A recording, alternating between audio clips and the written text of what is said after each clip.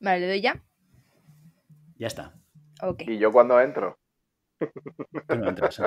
Cuando tú quieras, cariño mío.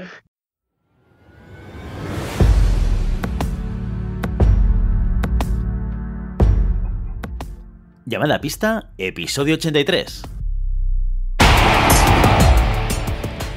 Hola, muy buenas y bienvenidas y bienvenidos a Llamada a Pista, el programa, el podcast en el que hablamos de ese desconocido deporte que es el swing. Este podcast está pensado por y para ese extraño a la par que especial colectivo de seres humanos que decidimos no dedicarnos ni al fútbol, ni al baloncesto, ni al tenis, ni a ningún otro deporte conocido, y que por el contrario preferimos, en pleno siglo XXI, blandir la espada y enchufarnos a la pista. Aquí estamos un viernes más, una semana más. Maribel Matei, Maribel, buenos días. Buenos días, Willy. Santiago Godoy, buenos días, Santi. Yo no me canso de decir que me encanta madrugar para hacer este programa. ¿Verdad? Podríamos, podríamos decir aquello de buenos días, buenas tardes y buenas noches, depende de cuándo lo estés escuchando. Nosotros jugamos con la magia de la radio, este elemento Qué mágico, el falso directo. Que, claro, teóricamente el, el programa sale el viernes por la mañana. Evidentemente no grabamos el viernes por la mañana. Y, eh, y esto a veces descoloca a nuestros presentadores.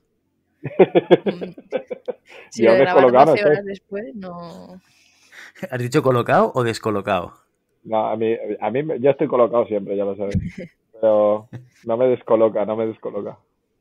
No, no, y nosotros que te lo agradecemos. Bueno, eh, antes de empezar con el contenido de hoy, hoy tenemos una entrevista muy interesante, pero tenemos que recordar que una vez más, una semana más, un programa más, tenemos aquí a Fencing Fan Neps con nosotros, fencingfan.com.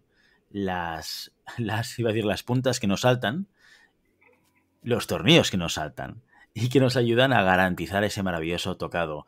Ricardo Arberas nos acompaña una vez más como patrocinador de Llamada a Pista. Yo Mira, siempre yo te salto. digo que, que he probado ya los NEP, me lo preguntó Ricardo, los NEPs de florete. Y se me ha roto el florete, primer florete de la temporada, y los tornillos en su sitio. Los he cambiado de florete. O sea, efectividad 100%. Oye, Mira, Pues entonces yo, tendremos que empezar a pedir a, a Ricardo que forje hojas de espada y de florete. sí, con el, con el material de los tornillos, por favor, una hoja para mí. yo salto cada vez que pongo un NEP. O sea, es la única, el único salto que pego. Eh, Pongo un NEP y pego y hago un. De, de felicidad, ¿no? De De lo fácil que felicidad. es. Claro, hay que celebrar lo fácil que es eh, poner el, el NEP en la, en la punta. Que fíjate que esto, esto es como casi como el Kleenex. ¿eh? O sea, el concepto NEP sobrepasa el producto. ¿Os habéis fijado o no? O sea, ya le llamamos el NEP. O sea, no es el tornillo de. No, no, no, es el NEP. Nepito. El nepito. El El nepito, nepito. claro. Pero, pero, pero, es como, ¿sabéis cuándo me pasó a mí? Me pasó con lo de Uralita. ¿Sabéis lo de la Uralita? No, pero creo que nos lo vas a explicar ahora. Sí, bueno, es que Uralita es el, la marca del que hace las chapas estas de, de, de esto. No es Uralita, el material, sí. el, el material no es Uralita, la marca es Uralita. Es como decir, me voy a tomar una aspirina, aunque sea un ibuprofeno o lo que sea, ¿sabes? Es de la marca me ha sobrepasado el, el producto. No, no ha quedado tan bien como pensaba, ¿no? Sí, es como, es como el sí, es una resigni- resignificación. Eso en, lengua, quien haya estudiado lengua, se, se utiliza. De un nombre propio a, a un nombre común. Ya es un nombre común. Pues vamos a hacer Sí. los NEPs un nombre común. Que sean todos tornillos Exacto. NEPs. Exacto. A partir de ahora lo vamos a llamar NEPs y, y- y aquella cosa antigua que poníamos antes a las puntas y se nos saltaba. ¿Eh? Esto sería el, Eh, eh, eso el otro concepto. Esa, esa mierda que poníamos antes y que, que era, era como pegarle a un padre, ¿sabes? Es como que se te caían con el sudor, con los nervios, tal. Eso, cosa, cosa tercermundista del pasado, ¿eh? Totalmente, totalmente. Y lo que no es del pasado, pero sí que viene del pasado al futuro, y no hablo del DeLorean, eh, son los mecenas. Que es increíble. Los mecenas que vienen del Renacimiento para apoyar este podcast con su apoyo mensual maravilloso que nos permite también seguir patrocinando este programa de una manera diferente, de- de- desde otra perspectiva diferente y permitiendo a la audiencia que también pueda pues, apo- pues, aportar ese granito de arena que, que- que también nos ayuda. Y, y recordemos que eso que se lleva a cada mecenas cada vez que inicia un mecenazgo. Tres cosas. ¿A cuál mejor? Al loro, que vienen curvas. Nos pueden enviar un audio y lo publicamos. Y os recuerdo, mecenas, que lo podéis hacer. Segundo, os, nombra- os nombramos en el programa. Tercero, y el más importante, podrás alardear de ello con tus colegas. Y hay uno más, el 3 más 1, cerveza asegurada con Maribel Matei. Y hasta aquí puedo leer. Sí, sí, sí, yo Eh, sigo manteniendo. Yo por- solo por eso pagaría. Pues ya estás tardando. Estás tardando. Bueno, yo te Aunque digo yo una ya te cosa, es que comer. depende ¿eh? de dónde, Pero, eh, bueno. Depende de dónde sea la cerveza, igual, igual te sale a cuenta. ¿Sabes lo que te quiero decir? Como sea en el centro de Madrid o el centro de Barcelona, en una terraza, no sé qué, no sé cuántos, hostia, eh, a 5 euros te los dejas seguro de una cerveza. O sea, los, los tienes recuperados. No, no, Hombre, es el eh, viaje lata nave, del el chino, viaje nave hasta Madrid. Lata del chino, tío. Bueno, hombre, es Ya que si, si un todo- mecenas, si un mecenas viene exclusivamente a Madrid a tomarse una cerveza conmigo, es que no le invito a una cerveza, No. o sea, le invito a todo lo que quiera él, o sea, O sea, Maribel, cuidado, eh. que que- está subiendo mucho el nivel. a ¿eh? ver, no. Hostia, se está viniendo arriba, eh. Sí, sí. Es, es la emoción de la fama, Santi. Ya, Ya, ya, ya, claro, o sea, ya este programa está transformando a Maribel Matei. Para algo os tengo, para algo os tengo. Para que me sirváis de trampolín. Luego ya me olvidaré vuestros nombres, vuestras caras y, y ya está. Exacto, eh, forma parte del plan. Esto forma parte del plan. Tú no lo sabes todavía, pero esto forma parte del plan. Bueno, patrocinadores y mecenas aparte, vamos con el contenido de hoy, una entrevista a un personaje con una experiencia muy interesante a nivel internacional y, y de eso, de la esgrima en muchos sitios y de mucho más, hemos hablado hoy con Juan Ignacio Calderón. Dentro audio.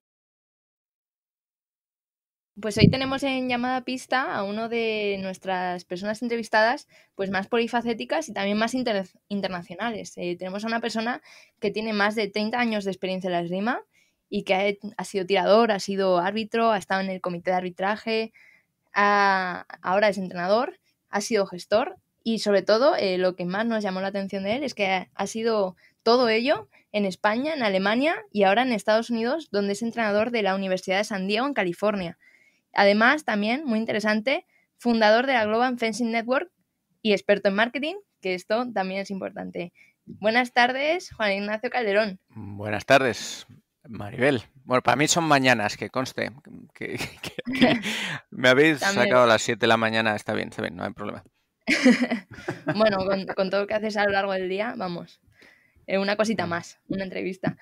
No. Eh, bueno, pues eh, como decíamos, ahora mismo están en Estados Unidos. ¿Cómo, cómo estáis retomando allí la, la temporada? ¿Cómo se está gestionando esta crisis que nos afecta a todos en Estados Unidos? Pues hombre, supongo que parecido a lo que tenéis vosotros, con subidas y bajadas, ah, rebrotes, polémicas e intentando, bueno, pues al final ir a, poquito a poquito, abriendo pequeños niveles de actividades eh, lo más que se puede y, mm, siguiendo un poquito las, directrices que marcan las, autoridades.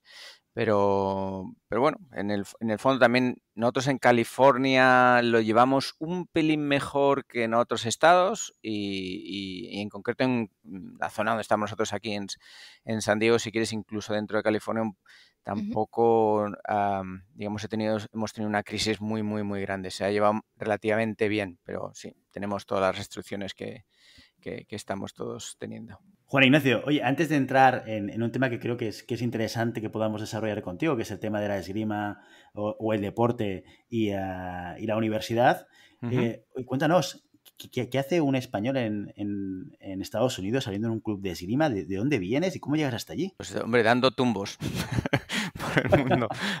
Pero básicamente, si, si, si, si te digo mi historia vital así como en, en- en 30 segundos, pues yo empecé la esgrima un poco de rebote porque tenía un amigo en el colegio que se aburría, abrió las páginas amarillas, encontró un club de esgrima y, y me dijo, oye, ¿te vienes a ver, a chequearlo cómo es? Y dijo, ah, pues voy. Y él, él no se apuntó y yo sí. Y así acabamos empezando haciendo esgrima en el Club de Esgrima de Madrid cuando estaba en la calle Alcalá, en el 120 de la calle Alcalá, en un quinto piso.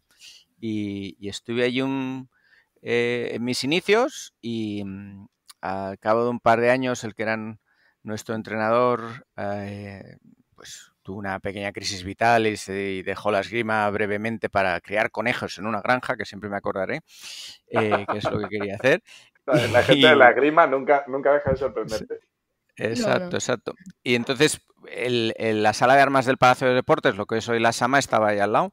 Y entonces eh, él me recomendó que, nos pasáramos allí. Entonces fuimos varios floretistas, porque yo empecé con, con el florete y nos pasamos allí y ahí empecé a desarrollar mi carrera deportiva, también empecé a trabajar de monitor, lo típico, las clases de adultos, este tipo de cosas, ¿no? Y, y bueno, pues yo tuve mi pequeña carrera competitiva en aquella época, yo siempre digo que ni fui ni bueno ni malo, sino todo lo contrario, y, y, pero siempre muy involucrado, ¿no? También me involucré mucho en el arbitraje y en muchas otras cosas. Pero bueno, cuando acabé mi carrera ah, universitaria y empecé a trabajar, pues también un poco por casualidad me surgió una oportunidad de, irme a, Alemania a trabajar en una empresa tecnológica. Y allí, es, bueno, pues me, fui, empecé a trabajar allí. Allí es, empecé en un club también local y es donde descubrí el lado oscuro de la espada, y porque el club solo hacía espada. Y, y, estuve 15 años en Alemania, involucrándome bueno, con mi carrera profesional, pero también siguiendo involucrándome con la, con la esgrima a, nivel, a diversos niveles. Y finalmente esa empresa en la que he trabajado es una empresa americana y me trasladaron aquí a San Diego, un poco para torturarme con el buen tiempo que hace aquí, el sol y, la playa. ¿Dónde va a parar? Mejor en Alemania, ¿eh? Sí, sí.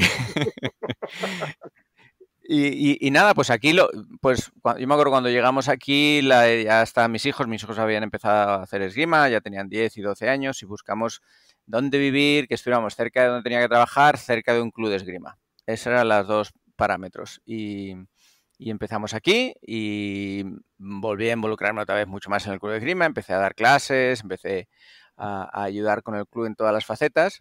Y, nada, pues llevamos aquí desde el 2011 pero hace como cuatro años, pues tuve mi cambio vital, eh, cumplí los 50 y dije, bueno, ¿qué voy a hacer el los segundos 50? Y bueno, yo ya he hecho mi carrera profesional por aquí, pues ¿por qué no me dedico a la esgrima y me lanzo a la piscina 100%? Eh, y entonces, bueno, pues lo que era una actividad part-time, pues se convirtió en full-time. Y me hice cargo del club y al año empecé a, me, ofrecieron entrar en el equipo de entrenadores de la Universidad de California San Diego y al año siguiente pues me hice cargo del programa y, hasta aquí hemos llegado. Bueno, hay que decir que ahora, Juan Ignacio, también estás involucrado eh, de manera tangencial, pero involucrado en el desarrollo del equipo español también, ¿no?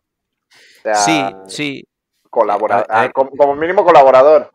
Colaborador, sí, sí. Yo, yo, yo, yo suelo ser muy voluntario para todas las cosas. Entonces, eh, conozco a Ángel Fernández desde mi generación de toda la vida y, bueno, pues llevamos tiempo colaborando. De él es el que he aprendido la mitad o más de lo que sé eh, en el mundo de la espada.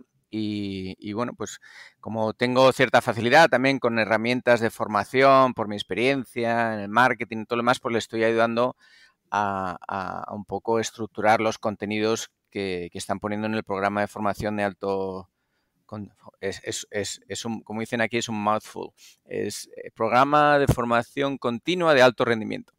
Y le estoy un poquito ayudando un poco con la estructura y con los contenidos para, ayudar al desarrollo de entrenadores y tiradores en, en España, que es algo de lo que yo me beneficio porque un poco todos los sistemas y, que se están haciendo, los modelos tácticos, yo los aplico aquí en el equipo de la universidad y como que le paso las notas a Ángel, ¿no? Porque es otra, digamos, en otro entorno diferente, pues un poco testear todas, todas esas cosas que estamos desarrollando.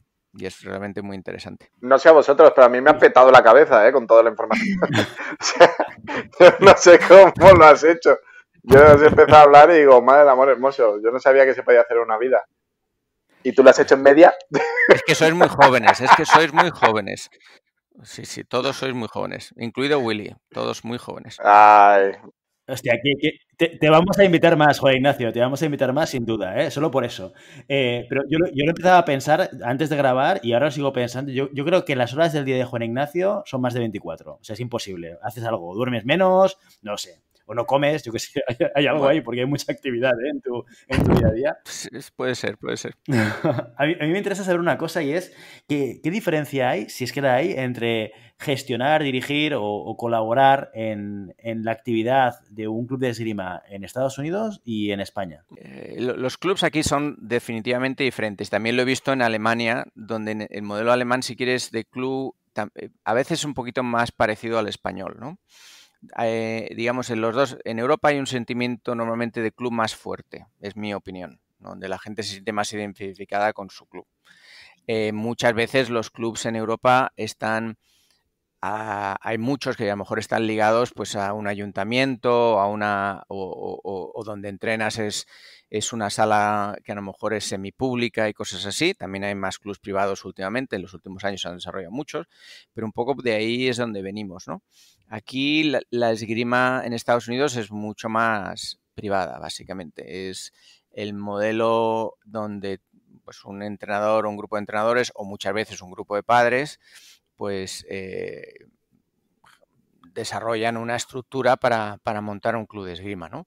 Eh, eh, el sentimiento de club, con algunas excepciones, ciertamente en el club donde nosotros lo manejamos, estamos intentando hacerlo un poco más European style, si quieres, es, em, es, con un sentimiento menor de club. Aquí el deporte es todavía mucho más individual, que va un poco con el país, ¿no? De que los americanos son muy individualistas y hay menos fidelidad al club, es más un poco, bueno, pues cómo me entreno yo, cómo avanzo y hasta aquí me vales y si no me voy a otro sitio, ¿no?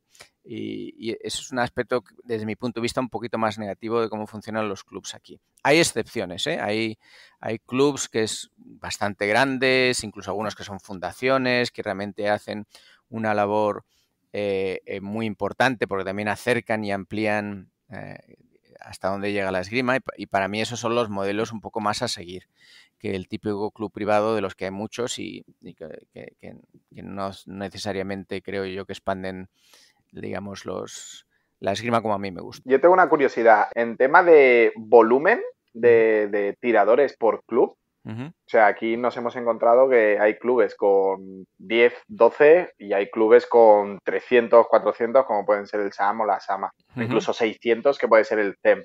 Eh, la horquilla sigue siendo más o menos igual, ¿no? Entiendo que. Sí. O, hay megaclubes. Es que yo me lo imagino. everything is bigger in, USA, ¿no? es como. Me imagino clubes mm, como ciudades. Eh, y, no sé si realmente. Bueno, estamos. Yo estoy muy enamorado del, del sistema americano y lo idealizo un poco. O pasa como en todas partes, no, no, hay clubes donde hay 20, 30 personas y los hay de más grandes. Claro. No, eh, en ese sentido es parecido. el pasa este país es mucho más grande, claro. Aquí hay, esto es enorme y, hay, y hay un poquito de todo. Clubes en, a nivel geográfico, si tú miras el, el mapa de Estados Unidos, pues hay hay, estados en los que hay muy poquita esgrima. Te vas a Montana, es que la población allí es muy pequeña y hay nada, poquísimo. Y los clubs a lo mejor son tipo 10 personas. Pero luego hay clubs, pues sí, del estilo, como dices, a lo mejor del CM en España que tiene esos 600, pues hay unos cuantos que están a ese nivel, ¿no?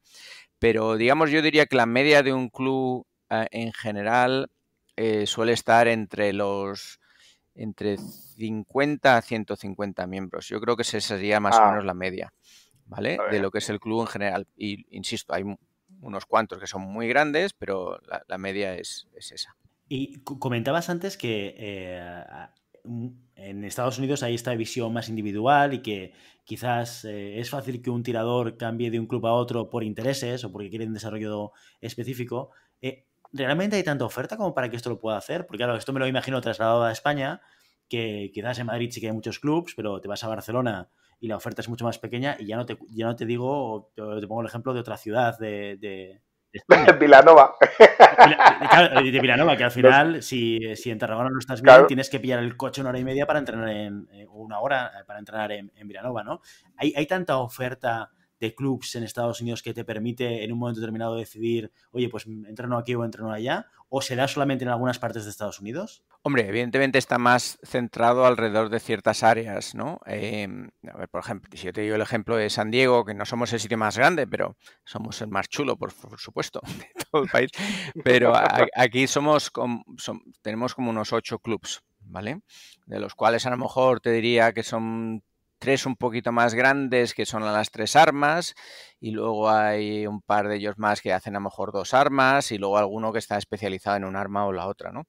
Y, pero están bastante bien distribuidos geográficamente, pero sí, sí que hay cambios de gente club. Te vas a un poquito más al norte, empiezas a ir hacia la zona de Los Ángeles y ahí tienes a patadas, ¿vale? Y, y ahí hay cambios constantes, ¿no? O te vas a, a la hora de San Francisco, hablando en un sentido amplio, ahí hay clubs muchísimos y todo, digamos, allá donde vayas hay más o menos clubs, evidentemente eso es lo lógico, pero, pero, pero sí, hay un número bastante grande de clubs y, suele haber bueno, pues estas situaciones que, te digo de que son un poquito, tampoco lo llevamos al extremo, pero yo es lo que he sentido, ¿no? En mis tres experiencias en tres países diferentes, el que el sentimiento del club está menos arraigado. Y lo ves incluso porque, para darte un, dato, aquí los campeonatos de esgrima que son masivos e impresionantes, pero cuando hay muy pocas competiciones por equipos, no hay una liga de clubs como la, que tenemos en España. Y cuando se hacen competiciones por equipos, eh, está abierto a que, por ejemplo, Santi, Willy y yo hagamos un equipo siendo de tres clubs diferentes, y le ponemos un nombre. Ah, le ponemos llamada pista. Y competimos esa competición eh, como llamada pista. Me mola. Qué buen nombre, qué buen nombre tú. ¿no? Por decir, algunos se buscan unos nombres un poco peculiares, ¿verdad? Pero, ¿sabes? Yo lo he hecho, por ejemplo, en competiciones, yo estuve un par de años compitiendo en el circuito de veteranos y, ah, y en la competición por equipos que hacíamos todos los años a nivel nacional, pues pues yo tiraba con uno de Colorado y con otro de Nebraska, que nos hicimos amigos a través de las competiciones y decidimos hacer un equipo. Y, no teníamos, vamos, somos de tres clubes completamente diferentes. Y entonces eso te da una indicación de que esa cultura del eh, el club, el equipo del club y tal es un poco más difuminada, es más individualista. Siendo, por ejemplo, tú entrenando ahí en la sección deportiva de la universidad, ¿puede ir gente de fuera a entrenar o son solo universitarios? No, no, eso está muy, muy, muy regulado. Como esto es un... A ver, en Estados Unidos, nosotros estamos hablando, lo que hago yo es, pues es un, lo que llaman un varsity team, que es de la NCAA o NCAA. Esto, esto está súper regulado. Está regulado cuántas horas podemos entrenar, el tipo de entrenamiento que podemos hacer, todo. Yo me tengo que hacer un examen todos los años de un libro que es como, yo qué sé, tres dedos gordo de normas que me tengo que aprender eh, para poder manejar un programa de este estilo. Y ahí está totalmente prohibido, que es una limitación para mis propios estudiantes, que la gente de fuera pueda venir a la universidad a entrenar con nosotros. Ah, hay, hay pequeñas excepciones, por ejemplo, no a entrenar, pero podemos hacer pequeñas competiciones. Si eres de un equipo nacional, imagínate que el equipo nacional de espada ah, viene a San Diego, para ir a preparar la Copa del Mundo de Vancouver, que estamos en la misma zona horaria y pasan por aquí, pues yo puedo hacer una competición contra ellos, por ejemplo. y de hecho lo hemos hecho, lo hemos hecho los, eh, los espadistas han venido a vernos en los dos últimos años, este año también han venido a vernos el equipo de sable femenino y, lo hemos hecho. Hemos hecho un día que van a la universidad, que es muy bonito, y, y entrenamos un poquito en conjunto y hacemos una mini competición por equipos entre, entre el equipo universitario y el equipo, un equipo nacional. Con equipos nacionales se pueden hacer ciertas cosas. Con gente de la calle, no. Lo que pueden hacer mis estudiantes es ir fuera de la universidad e ir a y entrenar adicionalmente en los clubs. ¿no? Ellos voluntariamente pueden hacer lo que quieran, pero en la universidad yo solo tengo que tener solo a gente que está en el equipo. Nos hablabas antes de, de, ese sistema de deporte universitario del que hemos hablado mucho aquí de Estados Unidos, que nos parece como un modelo más a tener en cuenta a la hora de promocionar el deporte. Eh, explícanos un poquito eh, lo que nos decías antes de, que es una actividad eh, deportiva completa, ¿no? No buscan lo que decías, unos resultados olímpicos, sino, sino desarrollarse como deportistas.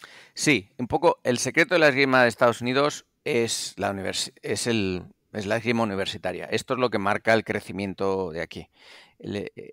Para daros un dato, en Estados Unidos se ha doblado el número de federados en los últimos dos, eh, los últimos ocho años. Desde el 2012 al 2020 hemos pasado de 20.000 federados a 40.000. ¿vale?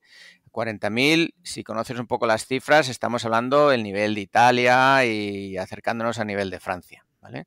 En cuanto a número de federados. Y esto era impensable hace, hace muchos años. Y lo que marca el crecimiento no es la esperanza de llegar al equipo nacional, de meterse en el equipo olímpico, porque aquí, como los números son tan grandes, la gente lo ve un poquito más lejano. Bien, es la posibilidad real de hacer esgrima en la universidad, por dos motivos. Uno, que eh, los programas de esgrima suelen estar en muy buenas universidades como la nuestra y, eso te ayuda a acceder a la universidad, que aquí es algo muy importante, a qué universidad vas, eh, marca un poquito tu vida. Y lo segundo es que la experiencia de, hacer deporte en la universidad a este nivel, eh, que es amateur, pero es, digamos, con una estructura casi profesional, es la que no solo entrena la esgrima, tienes entrenadores eh, digamos, de físicos que te van a, equilibrar, que van a enseñarte realmente a cómo tienes que ejercitarte y evitar lesiones, que tienes médicos, que tienes fisioterapeutas, que tienes nutricionistas, que tienes psicólogos. Y, eso evidentemente aunque estés en el mejor club de Estados Unidos, no lo tienes, te lo puedes montar por tu cuenta, pero tú vas a una universidad y lo tienes, porque te dan los mismos recursos que si estás haciendo fútbol americano, eh, baloncesto, voleibol. En el fondo, el equipo de esgrima es un equipo más y tiene acceso a la infraestructura de deporte universitario que, existe aquí, en este tipo de programas. Y eso es muy atractivo. ¿Vale? Y, eso es lo que marca el crecimiento, en realidad, de la esgrima en, Estados Unidos. Es lo que atrae. ¿Qué, ¿Qué permite a las universidades tener esta infraestructura y poder ofrecer este tipo de soporte? El dinero. Entiendo que dinero. sí, sí. claro, pero el dinero que es, viene en términos de subvención, es, eh, es, parte de lo que ellos ya ingresan por la gente que estudia en su universidad. O sea, ¿de dónde viene la pasta? A, ver, eh, esto puede ser una conversación muy profunda, ¿eh? pero el, la universidad, evidentemente, aquí en Estados Unidos es un negocio. ¿vale? Aunque sea público o privado. Mi universidad es pública, ¿vale? Eh, pero la universidad aquí es muy cara, muy cara, ¿vale? Y lo que hay es, eh, evidentemente, para gente que tiene el dinero y no tiene, va a tener acceso a ayudas y no sé qué, van a pagar una cantidad muy importante de dinero. Habrá otro tipo de gente que será una combinación de ayudas y créditos. Aquí lo que hay es muchos tú vas a la universidad y pues la gente se endeuda como si estuvieras comprando una casa, porque es que tú vas a tener el mismo nivel de deuda, y, pero son créditos a muy bajo interés o sin interés que empiezas a pagar cuando empiezas a trabajar. ¿Vale? Y acabas pagándolo durante muchos años. Y si te quedas en paro, pues dejas de pagarlo. Solo pagas mientras estés trabajando. A ver, si vosotros os acordáis de los Obama, que fueron a Harvard, me parece, los Obama acabaron de pagar sus créditos universitarios 10 años antes de entrar en la Casa Blanca. ¿Vale? Es como la hipoteca que te sigue en la vida. Entonces, eso es una manera. Evidentemente, también a nivel de deporte hay becas deportivas también. ¿Vale? En la esgrima, las hay, no te creas que hay muchísimas, porque hay mucha gente que viene con expectativas de que es muy fácil conseguir una beca deportiva en la esgrima, y no lo es, no es tan fácil. Haylas, pero a lo mejor no te cubren todos los gastos, es solamente una, una beca parcial y es así como funciona. Entonces, la, universidad tiene muchos recursos en general y, genera bastante dinero.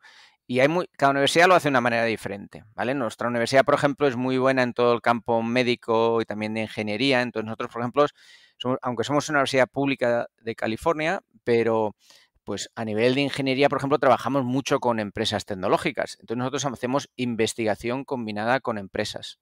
¿Vale? Entonces, eh, es decir, como si quieres parte de la investigación y desarrollo de una empresa, se hace conjuntamente con una universidad y eso genera ingresos para la universidad.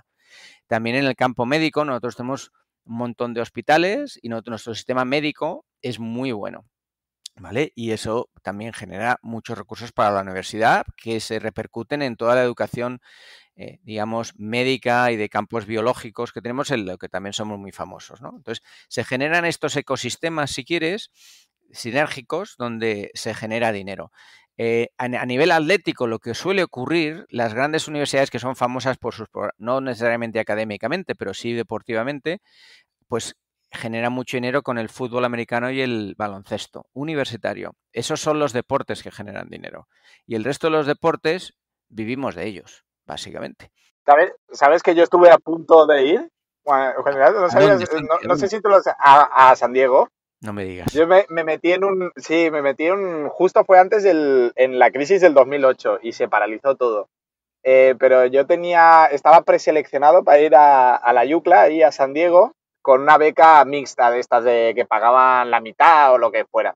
Entonces, lo había hecho a través de una empresa eh, que se dedicaba a esto, a poner en contacto universidades y tal. Y nada, la de, se ve que la de... ¿Pero con, San Diego o, con Los Ángeles? Que me has dicho UCLA. Ah, no, no, la, la- no, no, la de San Diego, la de San Diego. ¿La mía entonces? Sí, ah, sí, no sí, estaba sí. yo entonces. Claro, no. 2008, ¿eh? O Hubiera sea, sido que un nuestro. Pero mira, esos giros del destino que al final no Voy a, salen. voy a ver si te encuentro en nuestro, sistema, porque tenemos todos los datos de toda la gente por ahí. Pues mira, tuve, tuve una entrevista y, y- pero se paralizó. Al final, como fue esto el catacrack, se paralizó todo. Y, y- y nada, no. También me hacían pagar, los de la empresa esta, me hacían pagar unos 3.000 euros por, por ponerme en contacto, que no sé qué, sí, la gestión y tal, y no había. no, no me quiero meter con las empresas estas que también hacen buen trabajo de divulgación y todas esas cosas, pero al final el proceso es bastante sencillo. Te tienes que poner en con- si tú en la página web buscas cualquier universidad de los que tienen programas de esgrima y buscas un poco cuál es el proceso y tienes que rellenar un cuestionario y luego ya te pones en contacto, es bastante Sí. sencillo establecer la conversación. No tiene no, no es un no, no es, no es un misterio. Yo todos los días hago dos o tres entrevistas a candidatos de todos los lados. Eh, me pongo en el Zoom. Nosotros tenemos un amigo que era profesor en Orange Country Sí. y hice eso con, con, con la de Orange. Pero bueno, ya ves, al final se desinfló todo el asunto. Vaya. Pero sí, podrías haber sido mi entrenador en aquella época yo no estaba ni siquiera en 2008. y no creo que hubiera durado tanto en la universidad, también te lo digo. Yo, yo, yo, yo, yo creí que Willy era el más mayor de aquí, pero por lo que los datos que me estás diciendo, Santi, me parece.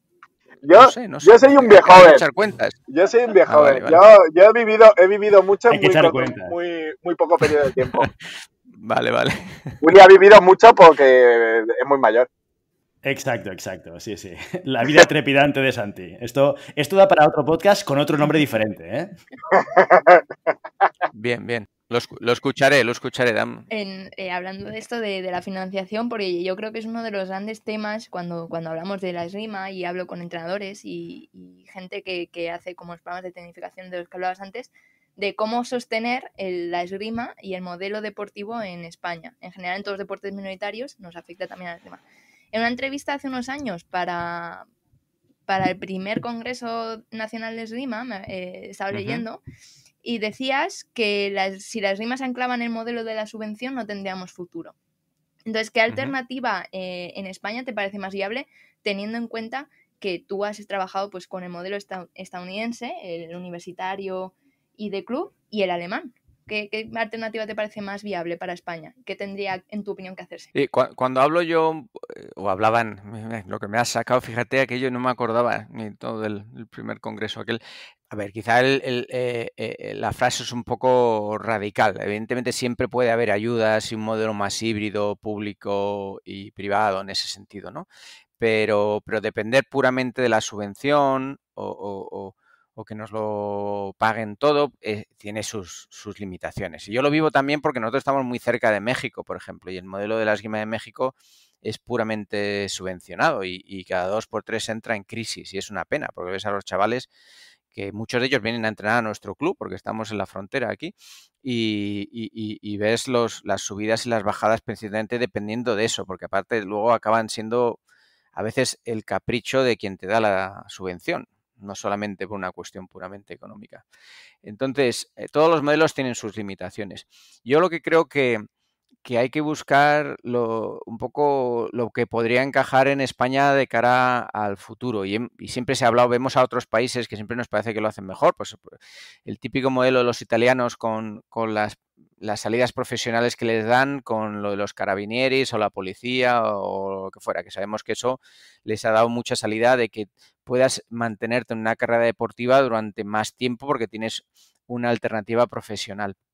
Evidentemente, el modelo aquí en, Estados Unidos se basa en lo que estábamos hablando de esa posibilidad de, tener acceso a una buena universidad y, tener una formación académica y profesional en la universidad al mismo tiempo que, sigues desarrollando tu faceta deportiva. Entonces eso tiene, tiene, tiene mucho valor. Yo no sé exactamente porque la universidad en, en España es muy diferente, pero sin, sin tener la solución yo creo que que se puede ahondar más en realmente hacer que la gente que se dedica con más intensidad al deporte no tenga que renunciar a una educación de calidad. ¿Vale? Y, lo que las ofertas que hay en España para poder hacer eso son un poco limitadas. Empieza a haber cosas, pero son bastante limitadas. ¿no? Hay algunas universidades ahora eh, privadas que en España lo están haciendo y están enfocando mucho los deportistas, incluso colaboran con el Consejo Superior de Deportes en ello.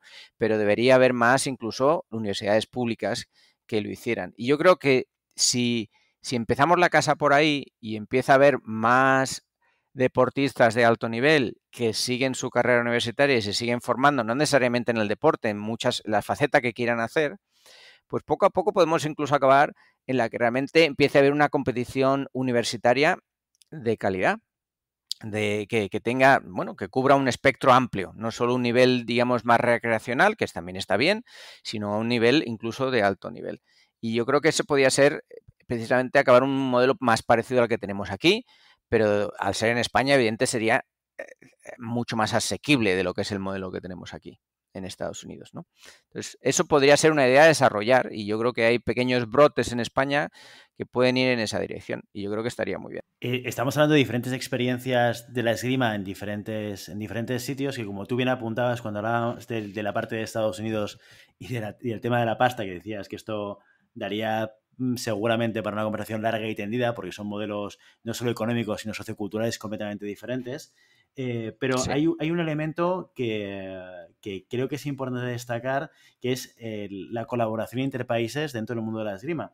Y nos gustaría que nos contases un poquito más sobre uno mm, de, esos proyectos a los que tú dedicas en tu hora 25-26 del día eh, y que nos cuentes un poco más de, qué se trata y con qué objetivo lo hiciste, que es el Global Offensive Network. Esto em, pues, e, es una idea muy, muy, muy sencilla, sobre un parámetro muy, muy sencilla. Es eh, sobre la base precisamente de algo en lo que yo creo mucho, que es la colaboración.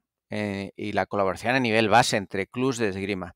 En el fondo, la, Global Fencing Network es una base de datos abierta, no es toda una iniciativa sin ánimo de lucro, no se mueve ni una sola peseta, perdón, eso es muy antiguo, ni un solo euro, ni, un, solo dólar, ¿vale? Es, em, es, es simplemente una especie de declaración de intenciones de que cualquier club que se registra ahí, tiene que ser un club real y yo lo compruebo y todo lo demás, está, digamos, como listándose para decir, yo quiero colaborar con otros clubs, estén donde estén.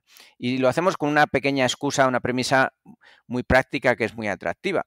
Es, yo tengo un club muy pequeñito y si yo soy parte de esa de la Global Fencing Network, mis miembros de mi club cuando viajan y exploran sitios por el país o en otros países, pueden ir a la página web, buscar qué clubs de esgrima hay donde voy a estar y el club que es parte de, esa, de la red, pues te recibirá con los brazos abiertos y no te cobrará nada por simplemente ir a tirar, lo que es tirar unos asaltos, ¿no? Lo que sea, una pool abierta o lo que tenga el club eh, abierto o disponible para tirar, no para tomar clases o cosas así, pero para lo que es tirar.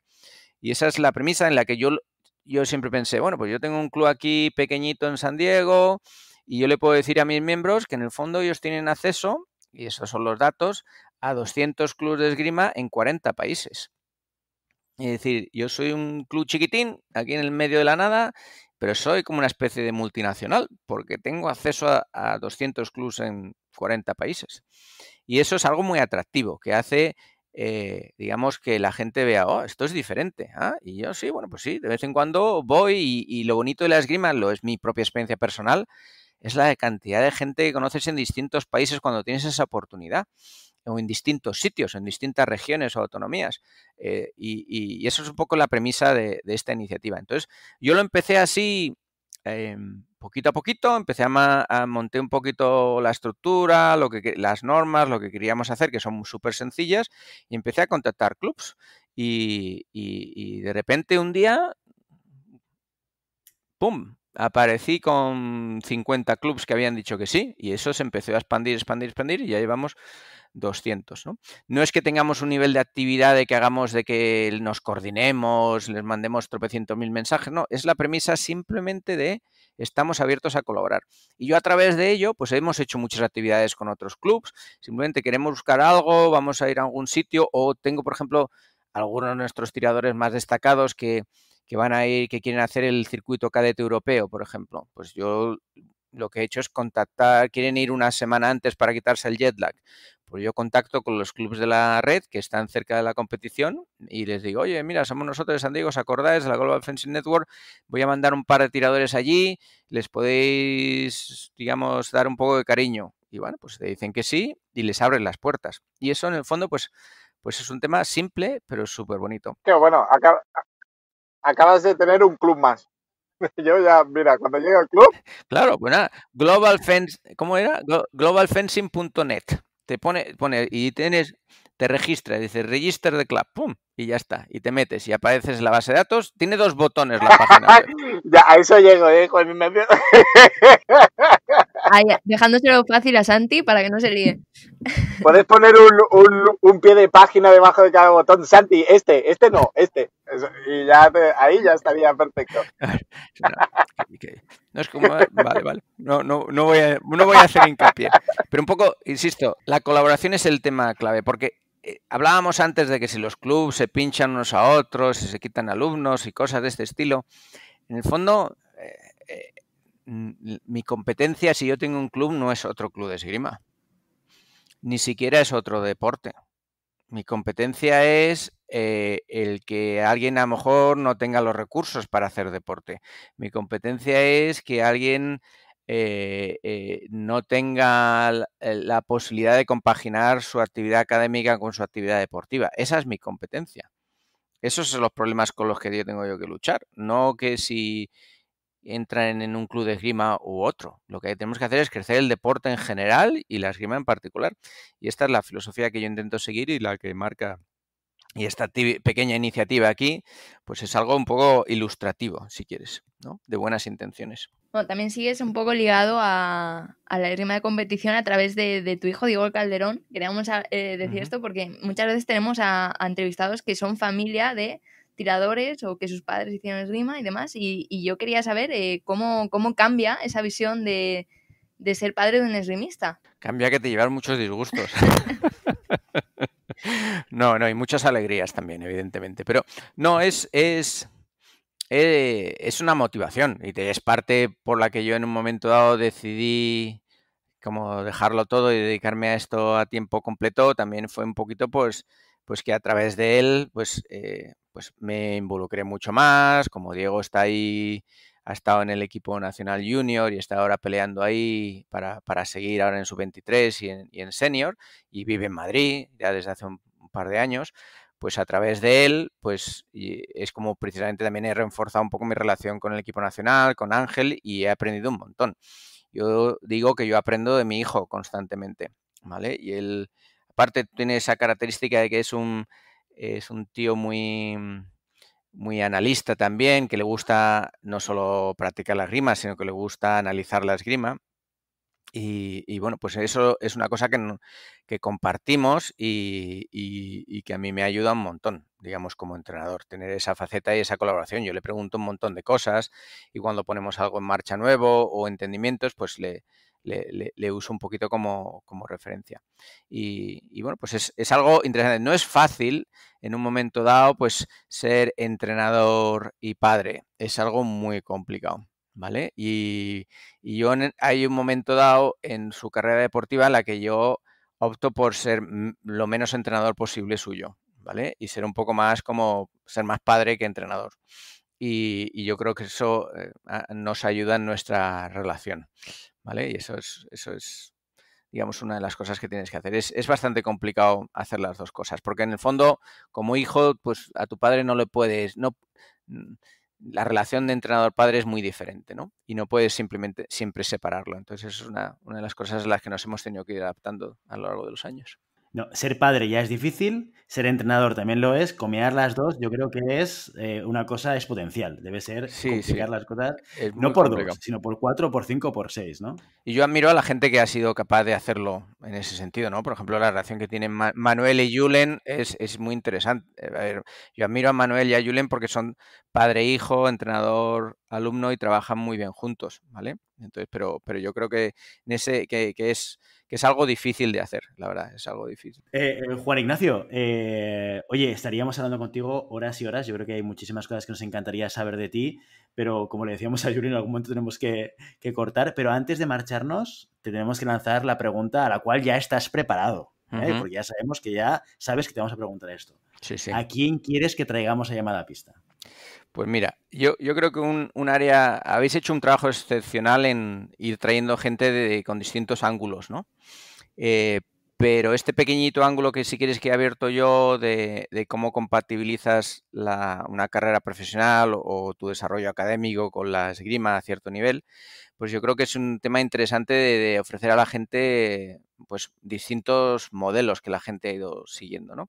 Entonces, para mí hay dos, dos tiradores eh, que, tuvieron muchísimo éxito en el sable, precisamente. Eh, aquí somos todos muy floretistas, muy espadistas, pero si hablamos un poquito del sable, que tuvieron mucho éxito y que luego han desarrollado una carrera, completaron sus carreras académicas y tienen una carrera profesional un poco fuera de la esgrima, que son Jaime Martía y Jorge Pina que pertenecen a la misma generación. Y yo creo que esos son dos buenos referentes para entender un poco cómo, cómo lo hicieron ellos, que no, no simplemente con la, a lo mejor no con las condiciones perfectas para poder compatibilizarlo, pero mira, consiguieron lo que consiguieron, que es increíble, y pudieron desarrollar esa carrera, ¿no? Entonces yo creo que esos son dos muy buenos referentes para, la gente que está haciéndolo ahora.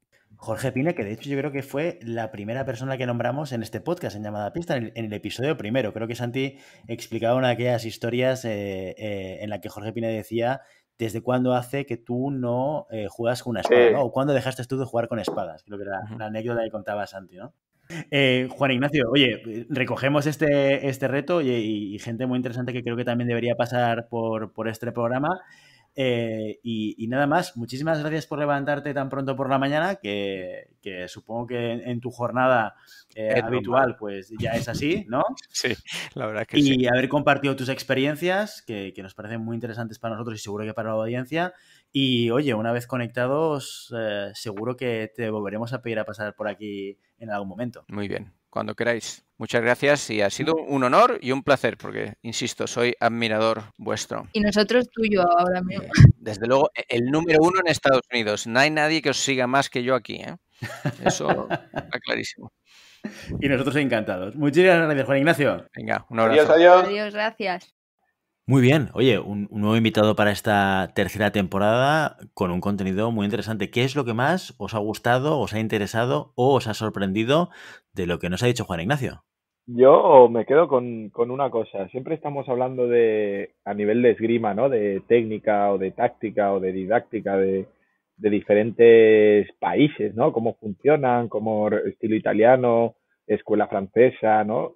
Y es la primera vez que podemos hablar de funcionamiento de un club o de funcionamiento de una estructura eh, de otro país, ¿no? Que parece mentira que tengamos muy interiorizado eh, introducir elementos técnicos, tácticos, de didáctica dentro de nuestro día a día y que se nos pase por alto el, introducir funcionamientos de otros países, que yo creo que, como dice Juan Ignacio, la sociedad americana tiene, tiene sus cositas, pero lo que funciona, funciona muy bien, ¿no? Y, el sistema deportivo funciona muy bien.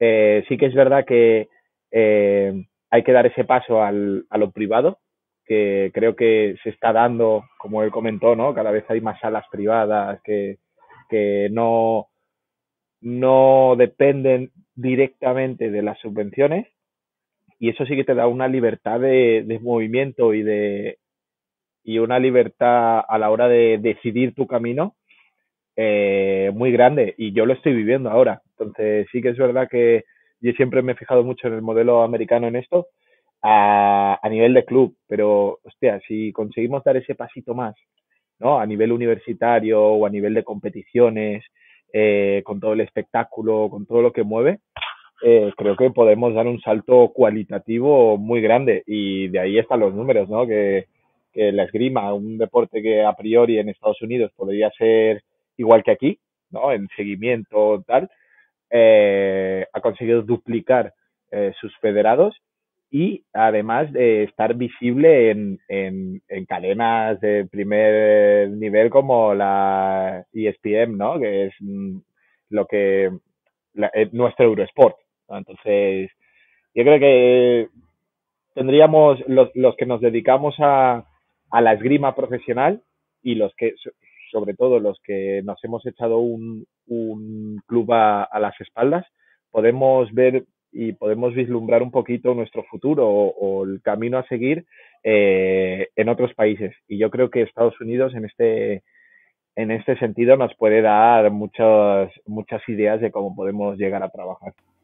Yo, por un par de cosillas, eh, una por, por, matizar a Santi, eh, que al final, una cosa que, que entendía a Juan Ignacio de la entrevista era que, que los distintos modelos deportivos, eh, hablando a nivel macro, ¿no? A nivel escuela, digamos, eh, tiene mucho que ver con la idiosincrasia de, del propio lugar, ¿no?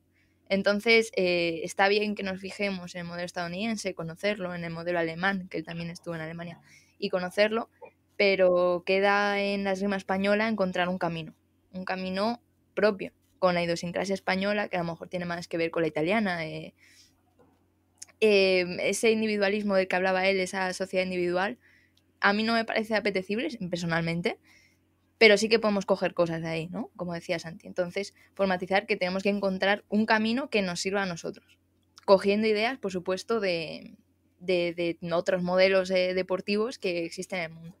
Y ahí viene mi, mi, la parte que, que, más me gustó de preparar la entrevista y de hablar con él, que es esa colaboración internacional, ¿no? Eh, esta Global Fencing Network, que me flipa, es eh, la colaboración internacional porque creo que está funcionando muy bien, ¿no? Vemos a entrenadores que, que, se juntan con entrenadores italianos cuando vienen de concentración y que aprenden un montón de cosas y que van, a, van aplicando ciertas cosas a sus entrenamientos. Vemos a, a equipos nacionales y no equipos nacionales y clubes que, que hacen campamentos, que hacen intercambios con, con, otros países y vemos a tiradores que están yendo a otro país, ¿no? Esta semana eh, sabíamos que, que Tere se va, Teresa Díaz se va a Frascati, igual que hizo, hizo María Mariño y Carlos Llavador o Nacho Breto.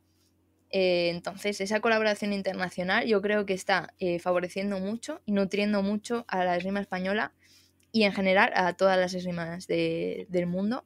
Está haciendo una, una hibridación que es muy interesante, que es muy interesante ver y que hace un aprendizaje común que a mí me parece súper importante y, y, que es necesario.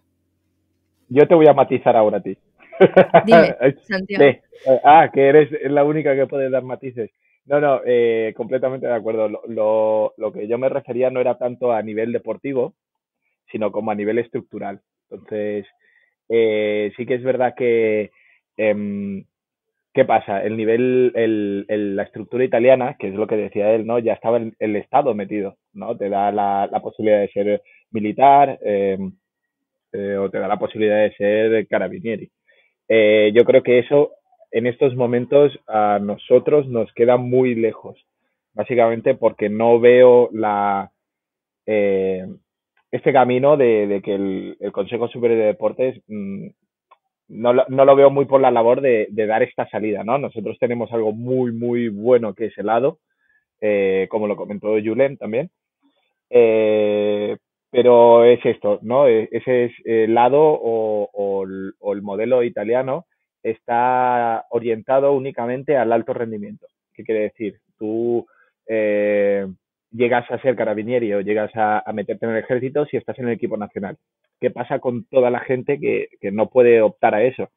Entonces sí que creo que a nivel privado podríamos eh, dar esos pequeños pasos eh, buscando una hibridación. Eso estoy completamente de acuerdo que todo eso eh, responde a un, a un contexto sociocultural. Pero creo que podemos estar más cerca curiosamente, del modelo americano, porque parte de los clubes y no parte del Estado. Eh, a mi entender, ¿eh? porque yo, yo, yo he tenido la suerte también de poder disfrutar de estas ventajas, ¿no? Cuando era mi etapa junior de competición, que a mí me lo pagaban todo, me daban material, pero sí que es verdad que ahora, en este momento, donde eh, se miran todos los céntimos, el club debe coger, como se está cogiendo ahora, esta, este relevo, ¿no? Este testigo de, esta potenciación de lo que es la base. Y em, fijarnos en este modelo privado que depende de los clubes, creo que está un pelín más cerca o es un pelín más fácil que no depender del Estado. Y una vez que tengas ese músculo eh, privado, eh, se puede optar a mm, una palanca de cambio con, con el, que involucre ya ayuntamientos, eh, eh, diputaciones o, al mismo Consejo Superior de Deportes.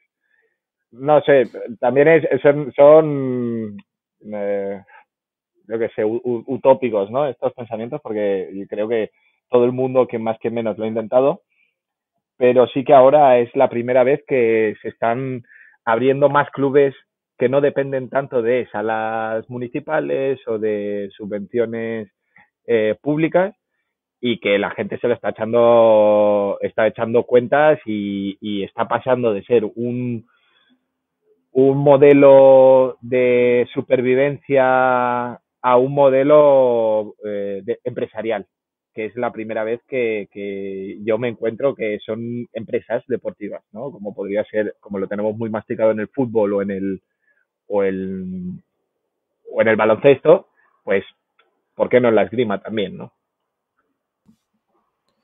Bueno, sobre todo porque al final vivimos en un, en un, en un estado que, se basa en, una economía capitalista.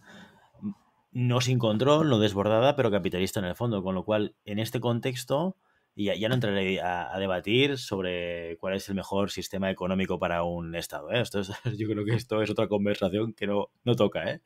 Pero, pero sí que en este contexto, al final, seguramente el, el mantener un tipo de subvención pública para sostener un deporte, un club o una actividad, se puede convertir en pan para hoy, hambre para mañana. Cuando en un contexto como este lo que tienes que preguntar es qué es lo que quiere el público, qué es lo que quiere la gente que hace deporte y acercarte a ello lo máximo posible.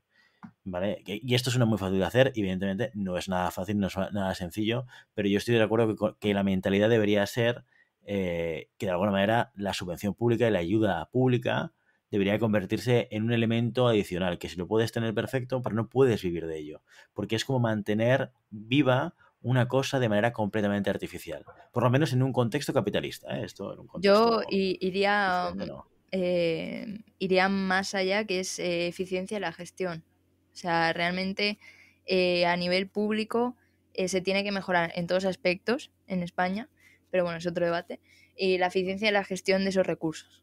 Entonces yo creo que si se utilizasen de forma más eficiente, que como dices, es muy fácil decirlo, pero es muy difícil hacerlo, eh, el sistema público o semipúblico eh, se mantendría. Y creo que, por idiosincrasia por, y por ideología es que estamos en las antípodas de Estados Unidos a nivel social. Entonces, no sé hasta qué punto eh, se podría utilizar. Si es cierto que un modelo híbrido eh, podría dar más facilidades en ese sentido. ¿no? Es verdad que depender de ayudas en un deporte minoritario como el esgrima y dentro de ese deporte minoritario hay tres deportes, porque realmente son tres armas que se desarrollan de forma distinta respecto a resultados, respecto a cantidad de gente que las hace y demás, es difícil. Llegar a un modelo estadounidense en una, en una sociedad que sí, que estamos dentro de un sistema capitalista, pero en la que el, el estado de bienestar y la, implicación del Estado es fuerte, a pesar de que no tengamos dinero, a pesar de que tengamos una deuda muy alta, el Estado, el concepto de Estado bienestar está muy arraigado en, las personas, me parece difícil. Por eso digo que, que España va a tener que encontrar su camino igual que lo ha encontrado Estados Unidos y que le funciona bien, porque si copiamos eh, totalmente pues, el modelo estadounidense o el modelo italiano, eh, no va a salir bien. O sea, al final, eh, si no tienes los recursos o la forma de hacerlo, es imposible. Entonces, es un debate que, que se tiene mucho y que se debe tener, y se debe tener en todas las esferas si queremos que la esgrima llegue a ser, no como el fútbol obviamente, pero sí un deporte que, que se pueda sostener por sí mismo. Pero yo tengo una, yo tengo una pregunta. ¿Realmente se tiene este debate o, o es más un, un, chascarrillo que soltamos? Yo me, me, me, lo he encontrado, ¿eh? O sea, cuando he tenido que ir a, ayuntamientos, obviamente, o, yo pongo el ejemplo de mi club. Eh, sinceramente, mi club eh, recibe una, una ayuda anual eh, prácticamente irrisoria, ¿vale? Entonces, y, y el, la idea con la que yo monté el club era de no depender de esta ayuda para nada. Es decir, mi club sobrevivirá teniéndola o, o, o no. Pero esto es, es, es, un debate que realmente se tiene, porque sí que es verdad que yo lo he hablado con mucha gente, pero ha sido más un chascarrillo eh, que una, una idea que vaya cuajando. Entonces, yo creo que sí que es verdad que se tiene que tener, pero que realmente, uh, por lo poco que yo sé, eh, no se ha tenido nunca donde se tiene que tener, ¿no? Que es en estos, eh, pues, federaciones, Consejo Superior, Gobierno, eh, ayuntamientos mismos.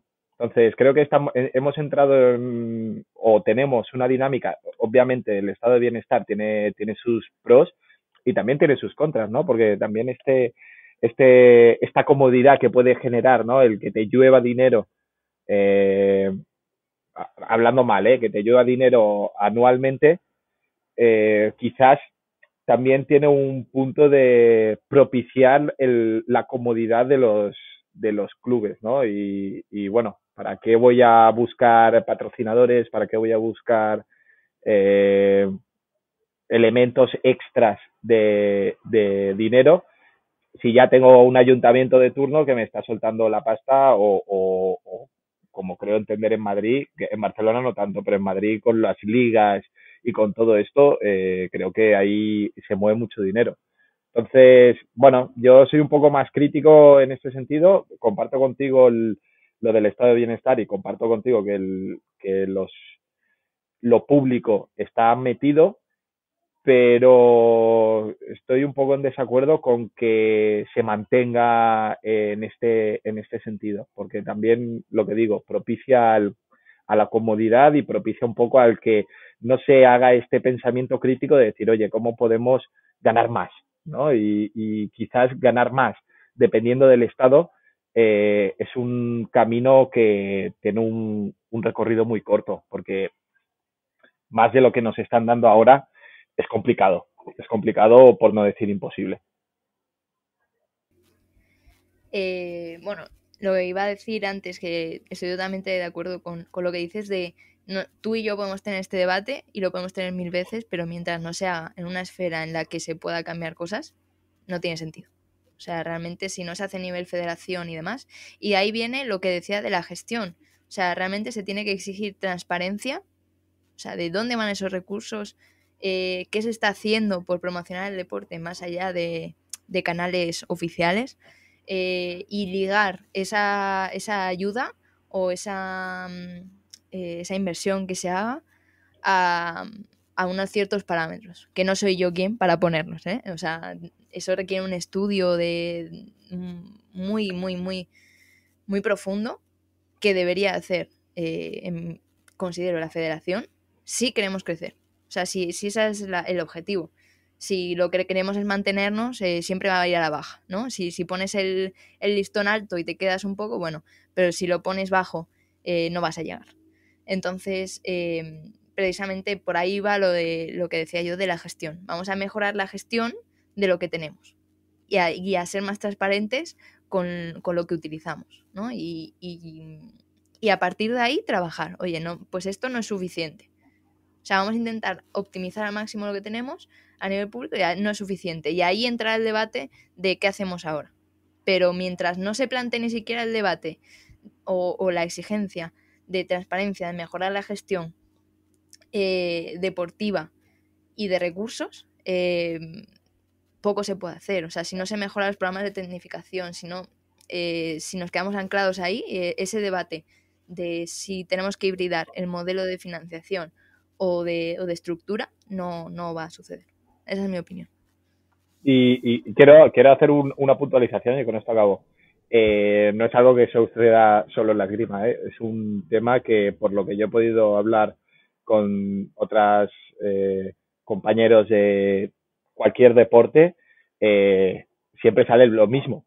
O sea, siempre salen las, las mismas carencias o los mismos, o los mismos conflictos o los mismos puntos, ¿no? De decir, ostras, pues también pasa en mi federación, también pasa en mi, en mi deporte, también eh, no es algo no es algo exclusivo de las esgrima, sino que es, como ha dicho Maribel, eh, es algo eh, propio del funcionamiento del deporte en España, que creo que debería hacerse un, un pensamiento y tendría que hacer una, yo personalmente creo que debería hacer una evolución si queremos dar más mm, eh, alegrías ¿no? Con, con, el deporte, que ya, si, si tal como estamos, eh, es una pasada los resultados que tiene España como, como nación en cualquier deporte, si tuviéramos, yo creo, este punto extra, eh, seríamos una potencia mundial. Pues mira, tú lo, tú lo comentabas antes, pero una buena pregunta que nos podríamos hacer es, eh, ¿a quién podríamos invitar de, de, la federación o del organismo que toque para hablar de este tema? Porque este tema es, es, muy relevante, como decía Santi, y, la pregunta que se planteaba, si se debate esto o qué respuesta eh, nos podría dar alguien que estuviese en algún estamento eh, con, la posibilidad de poder hablar de esto, ¿no? No sé, ¿a quién queréis que podríamos invitar? Uf, esto es complicado, porque aquí se mezclan mu muchas cosas. Para, para bien o para mal, España está montado en multitud de capas, ¿no? Eh, capa municipal, cap, capa diputación, capa autonómica, capa nacional. Eh, claro, que todos dan riendas eh, de menos a más, ¿no? Entonces, ¿dónde, dónde estableces el, el inicio? ¿Qué, ¿Qué, qué, funcionamiento hay que cambiar? ¿El ayuntamiento? Eh, ¿La diputación? ¿La autonomía? El, el, Consejo Superior de Deportes? ¿O la Federación Española? Claro, entonces yo creo que el, la misma estructura que tenemos eh, hace que este debate se tenga que dar paralelamente en muchas, eh, en, muchos ámbitos. Y eso creo que es lo que hace lo más complicado de tener un debate serio de, de esta, de, esta índole, que es el hecho de todo trabaja coordinado, todo trabaja paralelo, pero todo trabaja de manera autónoma. Entonces, es complicado, es complicado. ¿eh? Y, y, yo creo que invito a la gente a, que nos escriba o que nos, nos, nos contacte diciendo qué sería un brainstorming, ¿no? ¿Qué sería, cómo lo harían ellos o qué sería importante para ellos? Porque al final eh, todo esto se refleja en, en qué, qué, qué, es lo que estamos buscando. Pues el beneficio del deportista, ¿no? Y creo que pocas veces se ha pedido la opinión del deportista en estos, en estos temas y creo que, hostia, si al final nos, nos tenemos que mover y, y, invertir tiempo, invertir recursos, invertir en, en, los que son los tiradores, los tiradores también tienen que ser una parte activa en este, en este debate. Yo invito a la gente que, que se ponga en contacto, que escriba comentarios de, oye, pues podría hacerse esto, lo otro, no estoy de acuerdo, estoy de acuerdo y creo que se puede generar un debate interesante. Ahora que podamos cambiar el mundo establecido y, y generar un nuevo orden mundial, pues ahí ya queda en manos de Willy y sus, y, y, y sus mecenas. Llamada pista como, como defensor del pueblo Los mecenas y el, y el llamada pista podrán hacer mover montañas. Sí, sí, con, con la mente y con el corazón. Bueno, con estos consejos y esta declaración por parte de Santi para abrir un debate y un brainstorming por parte de todos los que queráis participar, nos despedimos hoy. Hasta aquí nuestro episodio de hoy. Como siempre, queremos invitaros a que os pongáis en contacto con nosotros, nos deis vuestra opinión y nos digáis si queréis que hablemos de algún tema concreto o si tenéis alguna pregunta. Lo podéis hacer a través de redes sociales, Instagram, Facebook. Estamos en Telegram con un grupo muy activo. Y también lo podéis hacer en la página web llamadapista.com barra contacto.